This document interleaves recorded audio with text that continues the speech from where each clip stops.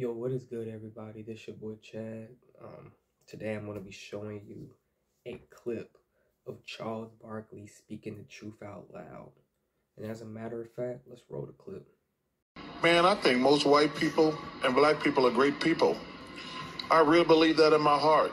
But I think our system is set up where our politicians, whether they're Republicans or Democrats, are designed to make us not like each other so they can keep their grasp of money and power. And as you see, Charles Barkley says that white and black people are, oh, in his heart, he truly believes that white and black people are good people. I tell people all the time, people like, I don't like white people. I don't want to hang out with them. I don't want to, like, bro, why are you even coming to the table with that type of energy? Like, why? We all created equal. We all made in God's image. We all bleed red. And we all basically family. Like, why does it matter?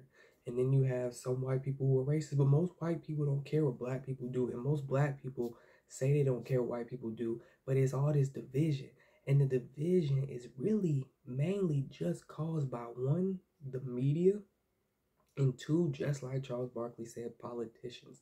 Because politicians know if they can continue spinning these narratives that look racist, they can continue getting you one in your feelings, and two, get you to react, and three, follow anything they say. And that's what I'm saying. We have to stop listening to the media and the politicians.